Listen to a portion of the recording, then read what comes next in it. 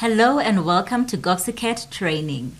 The UFS Library electronic catalog is called KovsieCat. It is to assist you to check books, journals, ebooks, and other study material available at the UFS Library.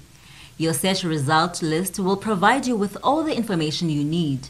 The direct link to KovsieCat is https colon slash forward slash forward wagtail.ufs.ac.za.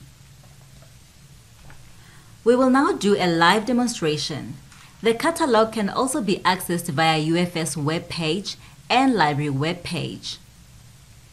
On the UFS web page, select Library. This will take you to the UFS Library web page. On the Library web page, click on the Resources tab. A drop-down menu will appear. Select the first tab, Catalog KovsieCat. You will now be on the KovsieCat interface, which allows you multiple options to search for a book. The general search allows you to search by keyword, author, title, shelf number, and ISBN number. The keyword search results in titles which are held by the UFS libraries. Let us do a keyword search, for an example, General Management and submit your search. Your search result will come up. You need to look at the location, shelf number, and status of the book. UFS has branches that will be reflected under location. The location for a book, for example, can be under Main Library, Music Library, QwaQwa Library, Frik Scott Medical Library, and South Campus Library and the shelf number is the number on the spine of the book. Status shows if the book is available on the shelf or not. If the book is checked out, there will be date under the status. When you see in transit, the book has been checked in and need to be placed on the shelf. Study collections are prescribed textbooks that can be used in the library for two hours.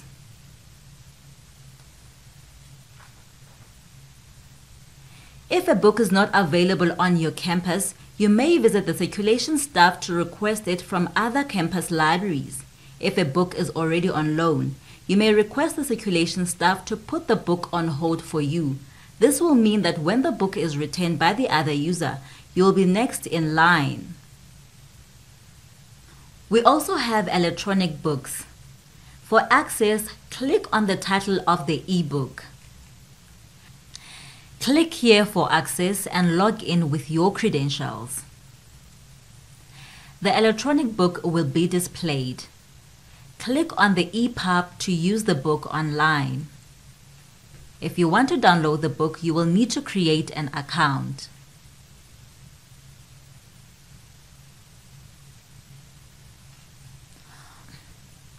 Alternatively, to access the ebook, you can use an advanced search which allows you options to do a specific search.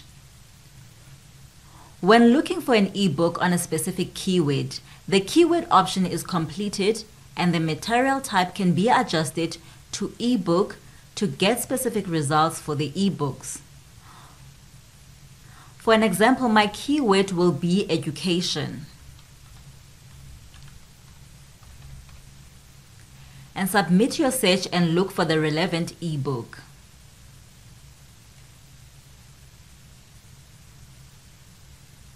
Lastly, we will look at viewing your loans and renewals. To view your books that you have loaned and renew or extend your loan dates, you can click on Patron Record tab on the far right. Insert your details as requested and take note of the instructions. When you use this option for the first time, you create your password specific for this access. Keep your password short and make it easy to remember. When logged in, you can view the books that you have checked out or if there are any books you requested to be put on hold.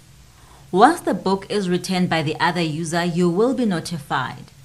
To renew, select the items you want to renew and click on Renew Selected Items.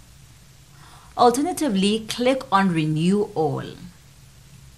Thank you for watching. For further assistance on KovsieCat, visit your library.